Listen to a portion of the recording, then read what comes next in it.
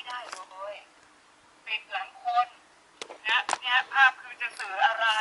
ไม่สวย แล้วก็บอกว่าที่ผ่านมาเนี่ยก็ดูผลงานของช่างภาพแล้วนะแล้วก็ติดต่อช่างภาพคนนี้รู้จักกันทาง Facebook ครับทางเพจเห็นภาพผลงานเยอะ ก็เลยติดต่อว่าเดี๋ยววันที่ 9 ตุลาคมมาถ่ายให้หน่อย งานมั่นที่บ้านในจังหวัดพัทลุงนะครับ ซึ่งเรื่องนี้เนี่ยเป็นกระแสเลยคุณผู้ชมตอนนี้พูดถึงกันเยอะมาก ทีมข่าวของเราสอบถามไปยังเจ้าบ่าวเจ้าสาวคู่นี้นะครับ หลังจากที่โพสต์ออกไปเนี่ยมีเรื่องที่ติดใจพวกเขาครับข้อที่หนึ่งเลยก็คือว่า ช่างภาพเนี่ยมามาช้าครับ มาถ่ายงานเนี่ยปรากฏว่ามาช้า นัดกัน8ปดโมงเนี่ยพอมาถึงโอ้โหมาช้าจังเลย แล้วก็ถ่ายภาพแป๊บเดียวก็กลับกันแล้วถ่ายไป2ชั่วโมง แต่ตกลงกันไว้ที่4ชั่วโมงครับ แล้วภาพที่ส่งมาให้เนี่ย500กว่า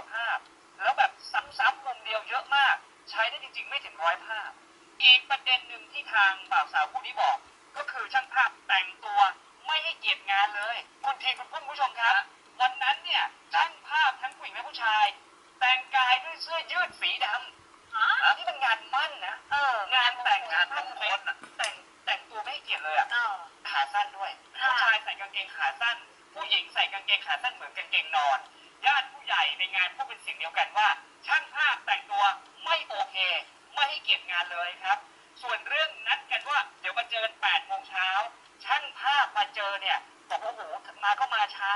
ถ่ายภาพก็ถ่ายภาพแป๊บเดียวเองนะแล้วพอเริ่มแต่งงานเนี่ยนะ9โมงเช้าหายไปตั้งนานกว่าจะมาก็ใกล้ๆจะถึงเวลาเริ่มแต่งงานและเลือกสมแหวนมั่นคือ9โมงเนี่ยนะครับเนี่ยเป็นประเด็นที่ทางเจ้าบ่าวเจ้าสาวคู่นี้ออกมาโพสต์เป็นข้อๆเลยนะครับ ซึ่งหลังจากเกิดเรื่องเนี่ยก็ติดต่อโทรศัพท์ไปคุยกับช่างภาพในเรื่องนี้ แต่ช่างภาพเนี่ยวางสายใส่ไม่ยอมติดต่อกลับมาอีกครับเอาไปฟังเสียงเจ้าสาวกันครับนั่นนั่นแหละมันมีครั้งเดียวต่อให้คุณจะมาขอโทษแล้วหรือบอกว่าจะให้ถ่ายให้ใหม่ยังไงในเมื่อแบบมันย้อนกลับไปไม่ได้แล้วคือมันเหมือนเป็นงานรวมญาติเนาะก็ก็คือญาติบางคนก็อยากเก็บภาพของเขาเพราะคือเขาเป็นผู้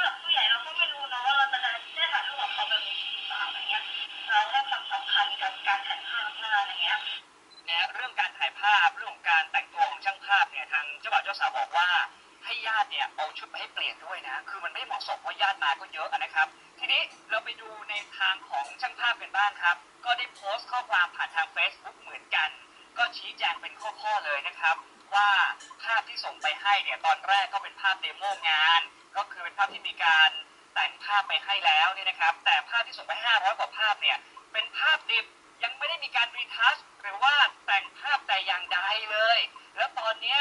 ก็ได้เงินค่าจ้าง มาถ่ายภาพเนี่ยแค่500 บาท ก็คือที่มัดจำเอาไว้ ตอนแรกเนี่ยตกลงกันว่า 3,500 บาท แต่ทางเจ้าภาพเนี่ยบอกว่าขอต่อรองราคาหน่อยเหลือ3,000 บาทอะ3,000 บาทก็ 3,000 บาท จ่ายงานจ่ายเงินมัดจำไปก่อน 500 บาท แต่พอหลังจากงานเสร็จเนี่ยก็ยังไม่ได้ส่วนที่เหลืออีก 2,500 บาทนะครับ ได้แค่ 500 บาทที่มัดจำเท่านั้นเองครับ และเบื้องหลังข่าวกับกายสวิทนะครับคุณผู้ชม ผมก็ได้พูดคุยกับช่างภาพคนนี้ด้วย เขาก็มาชี้แจงเป็นข้อๆเหมือนกัน ประเด็นเรื่องของมาช้าเนี่ยคือไม่ได้มาช้าช่างภาพคนนี้บอกว่าผมไปก่อนเวลาอีก นัด8โมงผมไป7โมง45 นาทีถ่ายรูปที่บ้านเจ้าบ่าวเสร็จ 10 นาที เพราะว่าพื้นที่ถ่ายน้อย ถ่ายครบทุกมุมแล้ว ก็เลยจะไปถ่ายที่บ้านเจ้าสาวห่างกันไม่ไกลประมาณสักหนึ่งกิโลเมตรพอไปถึงบ้านเจ้าสาวญาติไม่ขึ้นไปถ่ายเจ้าสาว เพราะอยู่ในห้องแต่งตัวข้างบน พวกเขาก็เลยออกไปหาอะไรกิน เพื่อรอเวลา9โมงเนี่ยนะครับ ส่วนเรื่องชุดโอ้พี่ ทำไมใส่เสื้อยืดสีดำกางเกงขาสั้นแบบนั้นล่ะ ช่างภาพบอกว่ายอมรับผิดตรงนี้ แต่อยากให้ฟังหน่อยอยากจะชี้แจงด้วยฝนตกครับพัทลุงฝนตกวันนั้นเนี่ยโอ้โหอาจจะไม่พร้อมไงฮะเรื่องเสื้อผงเสื้อผ้าต่างๆ ก็มีการเปลี่ยนชุดด้วยนี่นะครับ ส่วนเรื่อง 500 กว่าภาพ เจ้าภาพบอกว่าให้ไปได้แค่ไม่ถึงร้อยภาพ มันเป็นยังไง ฟังเสียงช่างภาพกันครับ อะไรครับโดยรวมที่เขาลงไปอะเป็นไฟล์ที่ผมไม่ได้แต่งเป็นไฟล์หลักนอกครับ ครับ เขาเอา มาดราม่ามีโพสต์มีไฟล์กัน อืมแล้วแล้วอย่างขั้นตอนรูปไม่รู้จะเป็นอย่างเงี้ยรูป500กว่ารูปเนี่ยคือ เราส่งให้เขาเมื่อไหร่หลังเสร็จงานยังไงอะฮะคุณปาล์มโอ้ไวมากฮะเขาโทรมาทวงผมไวมากครับเพราะว่าในกลุ่มวิทยาศาสตร์เขานะเขาบอกว่า demo ภายใน24ชั่วโมงผมจะส่งให้ดูก่อนคือเป็นโทน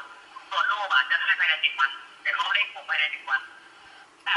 ช่างภาพชี้แจงแบบนี้หลังจากเสร็จงานก็ส่งภาพ demo ไปให้ภาพ demo คือภาพที่แต่งแล้วอะครับ ประมาณสักยี่สิบภาพอ่าให้เจ้าภาพดูว่าชอบไหมโทนแบบเนี้ยเดี๋ยวจะแต่งภาพให้ส่งไปประมาณสักสิบยี่สิบภาพให้ดู ส่วนภาพห้าร้อยกว่าภาพที่แชร์กันมีภาพไหมฮะอยากให้เห็นจังเลยว่า ภาพที่เป็นปัญหาเนี่ยคือภาพอะไรนี่แต่งแล้วภาพเหล่านี้อันนี้แต่งมาแล้วแต่งหมดแล้ว แต่ภาพที่ไม่แต่งสิครับ อยากให้เห็นภาพจังเลย ที่เป็นประเด็นตอนนี้เลยที่ห้าร้อยกว่ารูปเนี่ยนี่คือแต่งแล้วหมดเลยนะแต่งภาพสวยแล้วแต่งแล้วเขาบอกแต่งแต่งยังไงคะแต่งภาพปรับโทนสีไปแล้ว